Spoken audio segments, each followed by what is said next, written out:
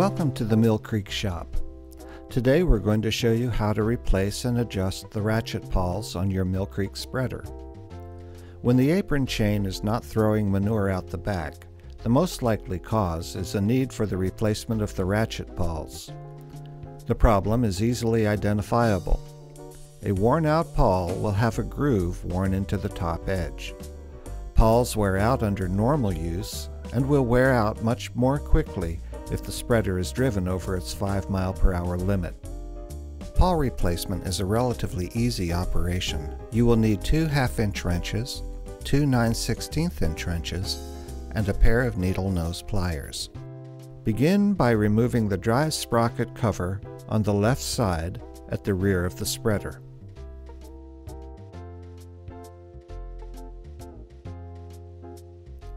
Next, remove the retaining nut on the rear pawl.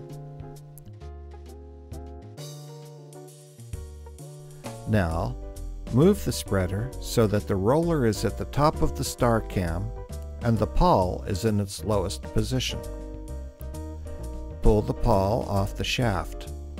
The pawl is under tension from the spring, so be very careful as you do this. Unhook the pawl from the spring and discard it.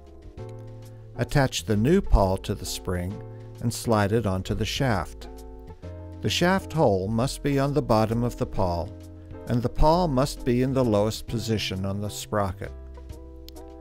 Hand start the retaining nut, but do not tighten it yet. Next, take the front pawl off. This pawl is also under tension from the spring, so be very careful as you do this. Unhook the pawl from the spring and discard it. Take the front pawl off by loosening the retaining bolt and removing it. You can now pull the pawl off the sprocket. Attach the new pawl to the spring, position it correctly, and slide the retaining bolt back into place. The shaft hole must be on the top of the pawl. Turn the nut back onto the bolt and tighten it. When you have it snug, back the nut off one half turn. The pawl must be free to rotate on the shaft. To check the pawl for correct adjustment, move the spreader so that the roller is on the highest point of the star cam. The front pawl should be against the sprocket tooth. On the rear pawl, there should be a gap of 1 8 to 1 16th of an inch.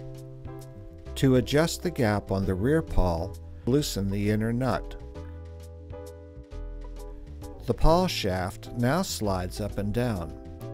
Adjust it so that the gap is the correct width.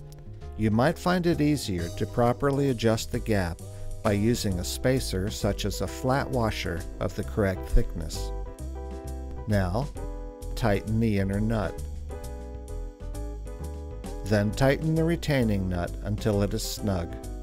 Then back it off one half turn. Take the spreader for a short dry run to make sure it operates correctly. If everything checks out okay, replace the rear cover. Your Millcreek spreader will now be as good as new. Congratulations on a job well done.